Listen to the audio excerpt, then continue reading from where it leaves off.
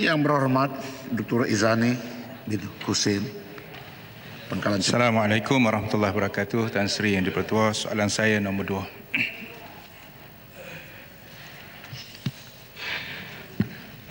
Tan Sri Yang Ketua, terima kasih kepada Yang Berhormat daripada Pengkelan Capah.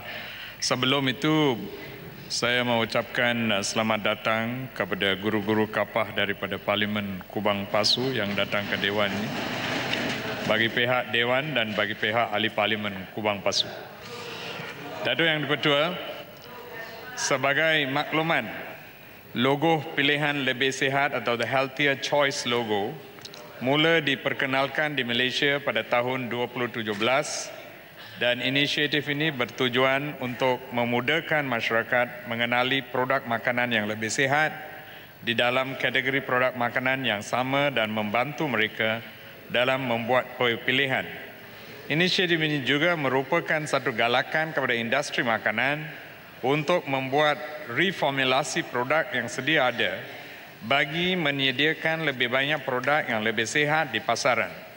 Inisiatif seumpamanya telah pun dilaksanakan di banyak negara seperti Singapura, Thailand, Brunei, Netherlands dan Sweden.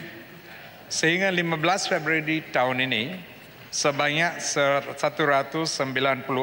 produk telah mendapat pengesahan.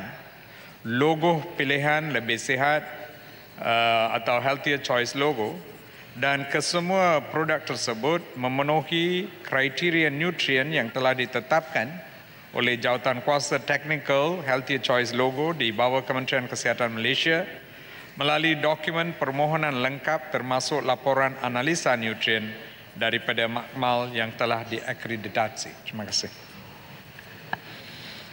Sila.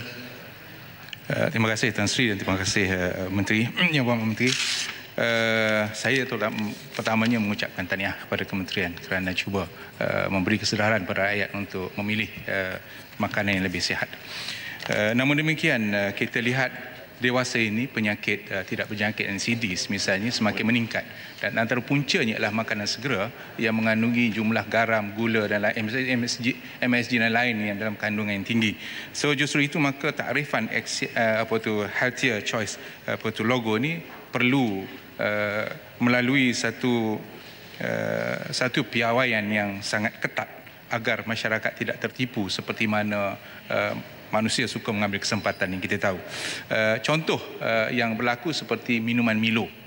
Uh, kandungan gula 40% daripada Milo itu satu hal. Kemudian formula Milo ini sendiri sebagai contoh di luar negara dan di dalam negara adalah kandungannya tidak sama. Ha, jadi saya nak tahu adakah kementerian yang menentukan kandungan sihat ini atau kita sengaja aja sahaja mengesahkan apa yang terdapat dalam kandungan itu. Yang keduanya adakah apakah mekanisme uh, kementerian bagi memastikan bahawa SCL ini sentiasa mematuhi piawaian kita supaya tidak ter, tidak tertipu. Terima kasih. Terima kasih ahli yang berhormat. Uh, se, uh, seperti yang saya telah jelaskan tadi, uh, kementerian telah menyediakan satu nutrient guide uh, kriteria untuk healthier choice logo untuk pelbagai jenis makanan, termasuk untuk uh, beverages yang termasuk uh, minuman seperti uh, Milo dan minuman-minuman yang di dalam kategori yang sama. Di dalam itu, di dalam standard yang telah ditetapkan, uh, kandungan gula mestilah kurang daripada 12 gram uh, untuk satu serving.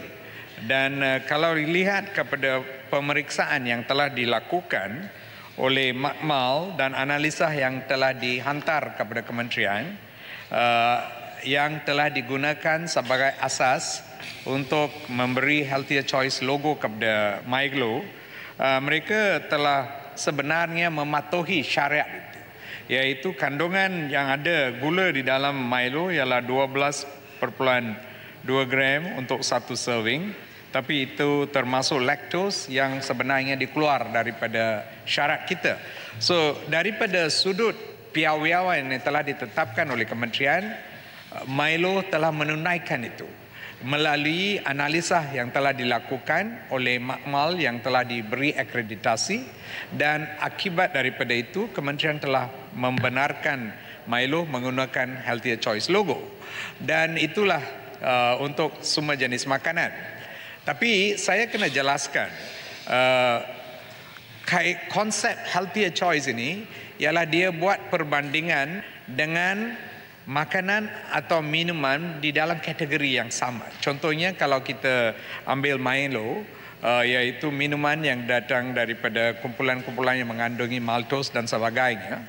Dan perbandingan dibuat dengan kategori itu dan healthier choice bermaksud kalau dibanding dengan minuman-minuman yang lain di dalam kategori yang sama multi Milo healthier bukan healthy uh, kerana ini ialah perbandingan kalau dibanding. So saya telah sebenarnya minta kementerian untuk uh, pergi ke satu tahap yang lebih tinggi. Itu mungkin yang dimaksudkan oleh ahli yang berhormat tadi. Satu tahap yang lebih tinggi di mana kita kena bergerak kepada the healthy choice. Kalau kita bergerak kepada the healthy choice, kementerian akan meletakkan ini yang syarat kena dinunaikan. A, B, C, D, E. Kalau macam mana-mana minuman atau makanan yang menunaikan syarat-syarat itu, kita boleh memberi mereka menggunakan the healthy choice. So kalau itu boleh diwujud dan rakyat Malaysia boleh buat pilihan semasa pergi untuk beli makanan yang sebenar-benarnya yang boleh dikatakan healthy. Pada masa sekarang, kerana kita telah ikut apa yang telah dibuat oleh negara-negara yang lain, kita dalam menggunakan sistem di mana perbandingan dibuat untuk makanan-makanan yang dalam kategori yang sama untuk memberitahu bahawa kalau dibanding dengan makanan yang lain di dalam kategori ini lebih healthy daripada makanannya. Terima kasih.